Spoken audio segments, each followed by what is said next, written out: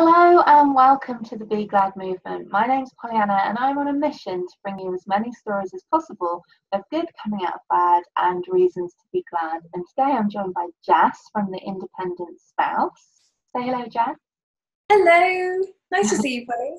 Lovely to see you too. Thank you so much for joining me. I know you're super busy, um, so I'm going to get out of the way, hand over to you, and let you tell your story.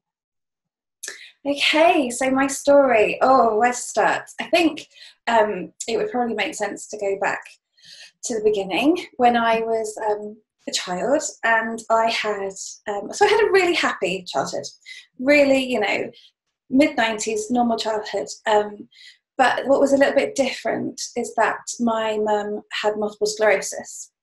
So it was quite a challenging childhood. Um, and the reality was that at the age of 11, when my mum was diagnosed and my little sister was seven, it was that the two of us just grew up really quickly. Um, so, how I found solace in this kind of strange home life that was very happy, but you know, we had to do a lot of the household things and we had to grow up and get involved really quickly. Right. But yes, how I found my solace was the fact that I loved drawing. So I would disappear into the garden with my pencils and I would draw all day and I would sit there and I would draw flowers and little bugs. I used to collect little bugs and I used to draw them intricately and um, loads of princesses. I used to love drawing princesses. Brilliant. Um, and it was kind of the only thing that I was ever very good at. At school, it was the same, never very academic. I did well at school, but I didn't really get it. Uh, it turns out that I am dyslexic, which I'm very proud of now. But when you're a child and the only thing that you are good at is drawing, um, it doesn't, you don't realise how, when you turn into a grown up and you want to go to university, how you can actually make a career out of the fact that you're good at art, but not maths and science and all those things that seem to be really important. Mm-hmm.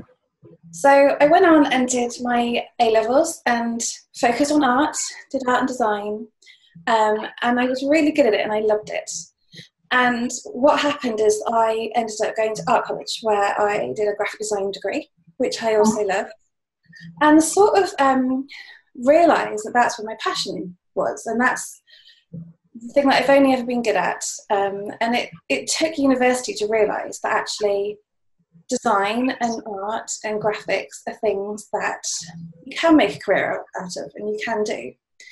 Um, so I left university with a surprisingly good degree, considering how dyslexic I actually am. And um, I got a job as a children's book designer. Oh, cool. I designed Disney books for children. Wow. So, yes, books which I loved, um, Power Rangers books, SpongeBob SquarePants, all these different Disney books, and I loved it. And I had a six year career doing that. And it, we went all over the world. We went to Germany, We went to Australia. I had, um, you know, conference calls with John Lasseter, who is the Pixar director. Oh, um, wow. Yeah, really good. And generally, I was sort of living the career dream and had wow. everything in front of me and was really happy and loving it. And then, like all military spouses, I fell in love with my future husband. Uh-huh. So this was a time where RAF Lyneham was still open. So he was living in Lyneham. I was in Bath, where I had my job and my friends and all my security. And, you know, it was great. We spent uh, four years together at that point before we got married. Um, he would go off and he would do his thing. I would stay in Bath and do my thing. And separately and together, we had very good independent careers and we were having a great time. Um, unfortunately, this was the time of Afghanistan. So oh. he was flying, so he's a Hercules pilot, he's a C 130 transport plane pilot. Um, and during the time that the Afghanistan war was happening, um, he was really, really operational. So he would um, go away for up to three months at the time, very short notice, because um, the army and the navy are a little bit different to the air force. So I think generally the Army and the Navy they have their six months and their nine month deployments and they do it in a big chunk. Whereas with him, because he was flying to Afghanistan every so often, he would do three weeks here, nine weeks here, three months there, all over the year. Right. So he was constantly operational, constantly flying to Afghanistan. Um, and he was away all of the time. But it was fine because I had my career, I had my job, I had my Disney books, um, mm. and life was good. And yes, I missed him terribly, but it was okay. Um, let me swallow as well and breathe a little bit. Yeah, that's okay. Sorry. No, don't worry at all. How are you feeling? Are you feeling emotional thinking back to that time, or are you just feeling a bit like, oh, where am I taking this? I think, I, yeah, so I think I am feeling a little bit emotional. So I like to think of it as a positive time because I was really, really happy then. Mm. And, you know, I had this wonderful career. But the underlying sort of constant worry was a bit, a bit much. And I had loads of support from my friends. So I was on a hockey team, loads of friends from that, and it was brilliant. But the reality was that my life continued normally and I had this constant fear that somebody was going to knock on my door. That was the re- reality of it. Yeah. It was time where, um, so it was very popular in the news. So there was a lot of coverage of Afghanistan. Mm. And the thing was, if somebody had died, they would shut down all the communications so that the news would be properly given to the families and they would be told the facts and it wasn't going to be something that was leaked or accidental. So it was um, so it must have been 2011 and 2012 those summers. They were really hard because every day somebody died. Sure. so i didn't speak to him for weeks and days on end and all i was getting was this little bit of coverage on the news and no other information. And it was really difficult and in fact my friends um, they sort of looked after me they were really good at looking after me and they'd take me off to the pub and we would you know both long summer evenings where you have a pint and you have a good chat about stuff. And um, the reality was that they sort of understood and they looked after me, but they didn't quite get it. And we used to spend nights, we had a plan. So we had a plan where something happened to my, well, he was my boyfriend at the time. Sure. One of my friends was, would fly and get his parents over here and one of my other friends would take time off work and drive me to where I needed to be. And it's really quite, looking back now, a really surreal concept that I had like a like a team of people yeah. planning what to do if something happened to my boyfriend. Mm. Um, so yeah, really strange. That is a very strange thing to have to do. Somebody in their like mid twenties thinking about the the worst thing that could happen to them. Oh. Um, but I had the support network and I had my job and it was brilliant. so after that, so RAF Lyneham closed, basically, is what happened, and he was posted to Brize Norton, which is Oxfordshire. So I was still living in Bath. We're now living together, really happy, seeing him in the evenings when he could. But he was now second in command of the squadron, which is a very busy job. Um, so he was commuting the three hours, an hour and a half each way to Brize Norton, coming home in the evening, almost running the squadron, flying, having to, you know, get his flying hours up. And he came home after a really long, miserable winter of snow and sleet and the motorway being closed. And he was like, Look, I know that you love your job and I know that you're really happy here, but I can't commute anymore. Right. That was the reality of. He couldn't cope with another closed motorway and the snow and the sleet and the fact that he was doing short notice medevac flights to Germany. So right. if, if the serving personnel's family gets sick in the UK, then they would fly the family that are posted in Germany back to the UK so that they could see their family. Or equally, if somebody got sick in Germany or in Cyprus, they would go and pick them up and bring them back to the UK. Uh-huh. This was always really short notice stuff. So he would always dash off. Normally after I'd started cooking dinner. Uh-huh. There was one time where I'd um, just put the steak on. We were cooking steak, steak and chips, something like that. Just put the steak on and he was out the door. I remember that quite um, quite well actually. Um, and along with that, he was still doing Afghanistan, still being operational, still never really being in the country. So we decided together that we would move to Brize Norton. But we weren't married at this point, so we didn't qualify for a married quarter. Sure. Um, so we moved into a private rental, which was also great. We moved to Witney, which is just outside of Brize Norton.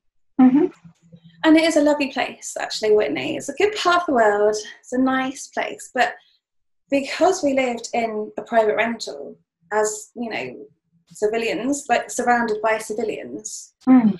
There wasn't really the community at all. Mhm. Because civilian people don't talk to their neighbours, um, which is normal for them because, you know, it takes a couple of years, you get to know them, and you talk to your neighbours, and that makes more sense Yeah. we had just moved in and I knew nobody at all. I had never lived anywhere that I didn't have friends. I was born in Cheltenham, went to Bath. That was it. Those two places where I had a whole load of friends and I was really comfortable. So it was a bit of a change to move to somewhere that I didn't know anybody. Sure. Massive shock to the system, really. Yeah, it is it is a strange thing to do for like a first a first move. Now I'm quite used to it all the time, but at the time it was very different, very very different for me. Um, so we're living in Witney, and Afghanistan is still happening. It's the it's the close down to that. So the Hex the Hercules are really busy Mhm. doing all the flying, and I had nothing to do at all. I'd left my job, I'd left my lovely hockey team, my lovely friends, and I'd moved to Witney where I'd only ever been once before, and I um, just sort of felt a bit sorry for myself actually, because if you're not in the sort of you're not married and you're not in the military gang, you don't have that, and if your friends are 60 miles away, you know, they come for weekends, it's great, but they're not there for a cup of tea when you need them. Sure. And I sort of fell into this weird sort of spiral where I would get up on a Monday morning and not leave the house until the Wednesday because there was nowhere to go, there's nothing to do. After six months being in a place, you've been to all the shops, you've done all the wildlife parks and the pet shops and the toilet centres, you've done it all. Um, and the only reason that I would go out on the Wednesday is because I'd run out of food, and that was it. And for weeks on end, the only person that I spoke to was the woman in Sainsbury's. Uh, which is, is really quite bad for your mental health, it turns out. sure. And I just had gone from this world where I was in this industry and, you know, making big decisions about publishing and, you know, winning awards and doing things that people listen to, to this world where it actually didn't matter if I was there or not because nobody really knew. Yeah. And that's not saying anything against my friends or my family. They supported me when they could, but people have busy lives, and I sort of fell into it. I didn't choose to be like that. I just that's that's how my life became, Yeah. really. hmm Um, and that went on for about gosh, it must have been about two years that I struggled with finding my way and finding my place. Um, so I was still doing a little bit of freelance. So I still was designing. I was doing the odd children's book. But the reality is, when you leave a job and leave a company and move to a different county, they sort of forget you. so Right. people in the company get promoted and then they don't send you work or there's a new person gets employed and so the work sort of fizzled out basically Right. So now I was stuck in this this place that I'd never lived before with my boyfriend constantly being away, um, with no friends and no hockey team and no work now. Um, and I really should have given myself a kick at the bum to sort myself out, but you don't know that at the time. You just sort of bimble through life generally anyway.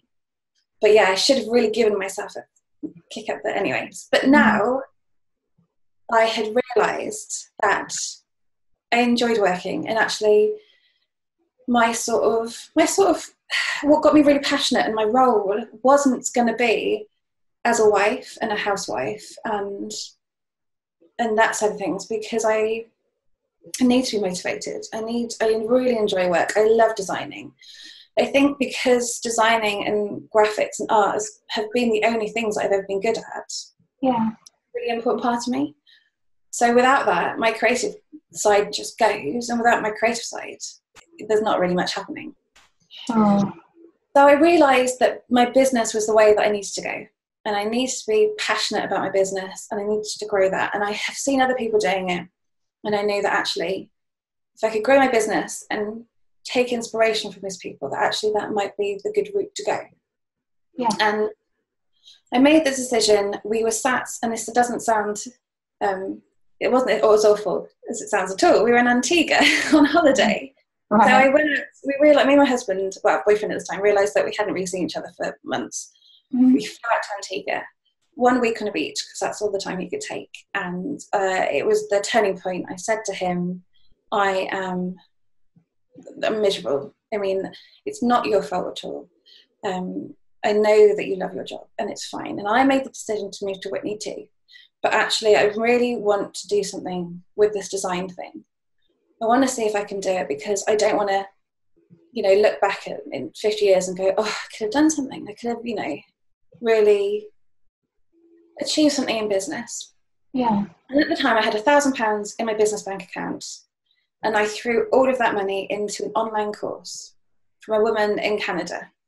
Okay. And every week she'd give you tasks to do. So one week it would be Facebook tasks, one week it would be sorting out your email list, it would be uh, going networking. And I was like, right, this is my chance. I'm going to throw my money at this. I'm just going to buckle up and I'm going to do everything. I'm going to try everything. Right. And eventually it started to work. And I molded my sort of freelance bits and bobs design work into a company that I now is now Design Jessica, which is my company that I still do, that um, I work really hard on, and um, yeah, it's sort of grown from there.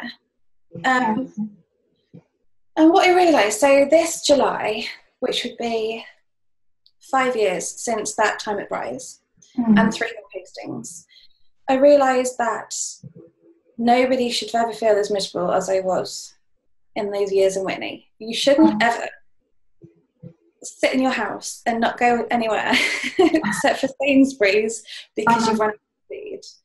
And nobody should ever feel that way.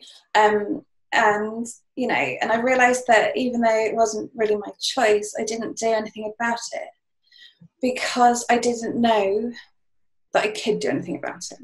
Sure. There wasn't anything that I saw that was a military spouse that had got a bit lost, that had found their way back again and had achieved something, you know, half decent. Yeah. So I've been toying with this idea for, for a long time. Um, and I knew that I wanted to, I knew that back in Witney, I wanted to hear the stories of people that had done this. So I knew it was achievable and that's why in July I started a podcast series. So the podcast series, which is the Independent Spouse, which is the reason I'm here, um, is me, the designer, interviewing other military spouses that have achieved something.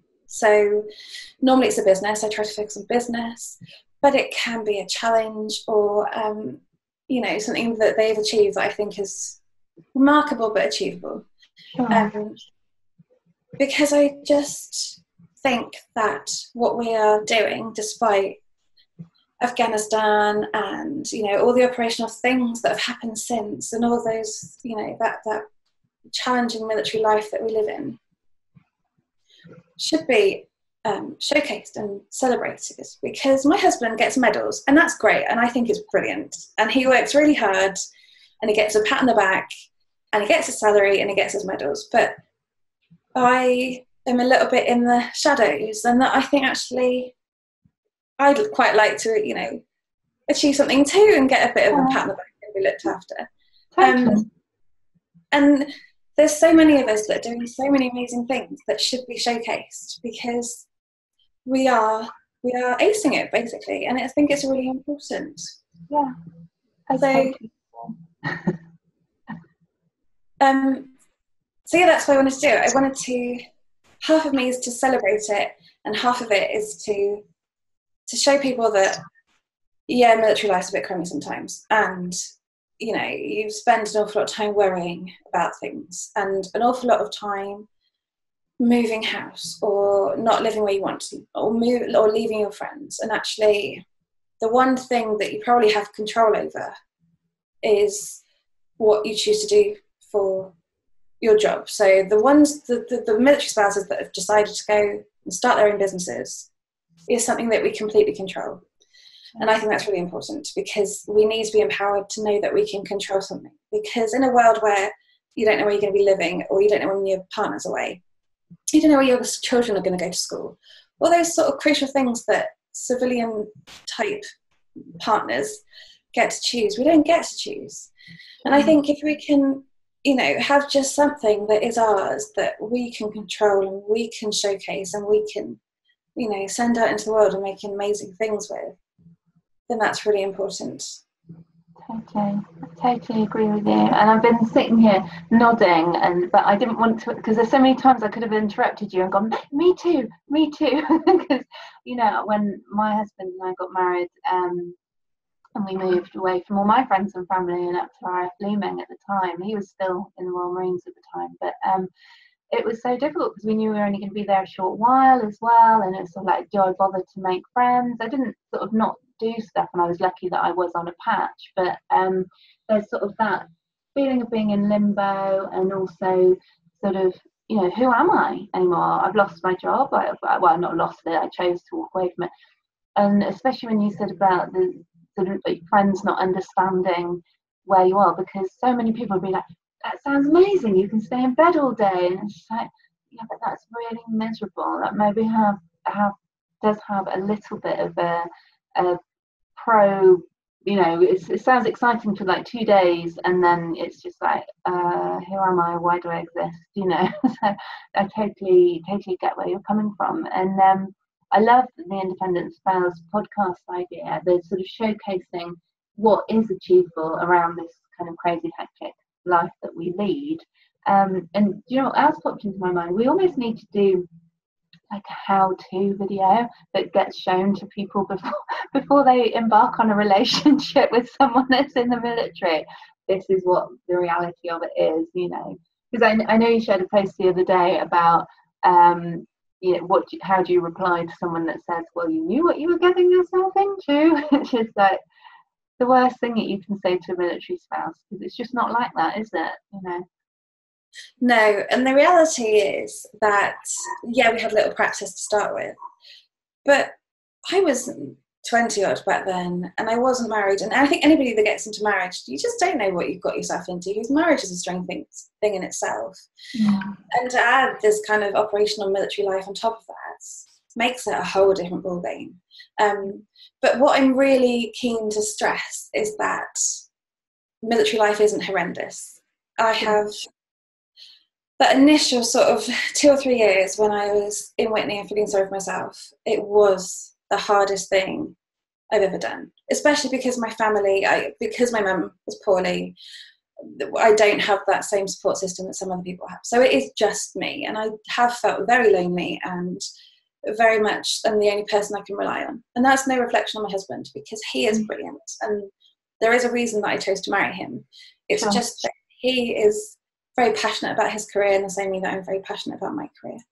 Um, but yeah, military life is not all doom and gloom. It's not all crying into tissues and waiting for husbands to get home by any stretch of the imagination. Oh. Um, it is, it's a challenge. It is definitely a challenge. But looking back now, at this point, I wouldn't have achieved half the things that I did achieve if I hadn't have gone through that that, that painful couple of years where I lost my way and I didn't know what I was doing. And even though that really sucks, um, I wouldn't change. I would change the fact that it took a long time to work myself out, but I'd like that to be a bit shorter. But looking back now, I'm just really proud of what I'm doing now, and I know that I wouldn't have done that if I hadn't have known how bad it was. I wouldn't have been inspired to do the independent spouse to show people that it's not all bad and that actually amazing things can happen. Yeah, I wouldn't have done that if I hadn't have had those sort of rubbish years. Sure, sure, totally. Yeah, because like you said, the, the not working gave you time to reflect on you know that holiday in Antigua when you said you know I know that I need to be working you sort of recognize that in yourself um, and then also recognize that, that, that if you're feeling like this there's going to be other spouses out there that are feeling feeling the same yeah and I hope it I hope that those that have contacted me and have said that actually that they agree with me because it's not all shiny. I mean, you can look at my Instagram and it all looks very shiny and well designed, but that's because I'm a designer. Generally, yeah. I'm it. that's the, but the truth to anybody in life. We're just hoping for the best and making it up. But I really hope that it sort of gives a reality to this world that I'm living. I have a vlog series on YouTube that's called The Magnolia War Life because these houses in Magnolia. Um, it sort of gives a behind the scenes, so it's not like a highly polished, shiny, this is how to do business sort of thing. This is kind of crumbs if she can do it, then anybody can do it. You know, it's a bit aspirational, it's a bit inspirational, but mostly it's sort of a positive, it's a positive reflection of military life with a little bit of, you know, oh, it's a bit bad, but but we can do it because for hundreds of years, I've said this before, for hundreds of years, military spouses and mostly wives have had to do this and my granny did it in World War Two. Um, and you know the army's been around for years, the navy's been around for years, the RAF we're getting there. But you know, there's women that have have done this already, and you know if they can do it, then I can do it. And as long as it's not got a positive spin and something happens in the long term that's good, then actually you know it, it's okay. It's not it's not too bad. Sure. Very cool. Yeah, that's. I mean, we're speaking from the same page really, because that's exactly what I'm like, trying to grab the positive out of the um, what could initially seem like the negatives, you know. And and like you say, it's not all negative. I've got a fantastic gym just up the road, a play park down the road for my son. It's all brilliant. So um, although there is the strain of being away from friends and family, and like you say, they're not there just for a cup of tea when you need them you can ring them up or Facebook message them and all those things. So um, yeah, exactly. I still think there needs to be that training video. Maybe that's something that you can do for um, for new newbie girlfriends and wives and future husbands and whatnot, so that we can all understand each other on on what it's like when you get started. So uh, yeah. Excellent. Well, thank you so much. Is there anything else you want to sort of say or tell us about while I've got you here? I think I just want to say that if you're a military spouse and you are feeling a bit crummy, maybe it's your first posting, or maybe you've sort of lost your way along the sort of you know this this this crazy military life that we live in. That the reality is, I think a few of us have probably been there, and don't feel like you're alone because you're not. We've all done it. I think we've all had really rubbish times. Mine lasted a few years, which was terrible. But um, you're not alone, and that it's okay to be grumpy, and you can do shouting and jumping up and down and throwing things if you want to. But just recognize that you're not alone, and there are other people out there who will look after you and will back you up. Um, and find those people and keep hold of them um, and look after them. And I am always around if anybody needs me in the same way that Polly, I'm sure you are. Yeah. Um, and it is okay in the end. You just have to get through it and it'll be fine in the end.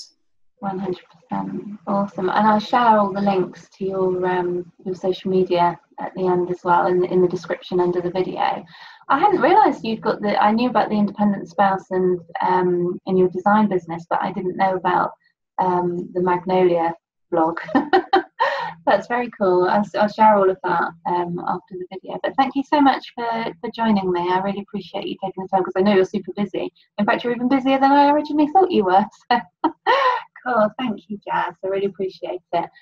If you like this video, please do hit the like and subscribe button and you'll get notifications when new videos are uploaded. You can follow us on Instagram, Twitter and Facebook. If you search at Be Glad Movement, you should be able to find us. Um, please do get in touch if you've got a story that you'd like to share. It really doesn't matter if it's similar to somebody else's story because I do believe your story in your voice has the, the ability to reach someone and help someone in their time of need. So please do get in touch and I look forward to seeing you in another episode. Many thanks.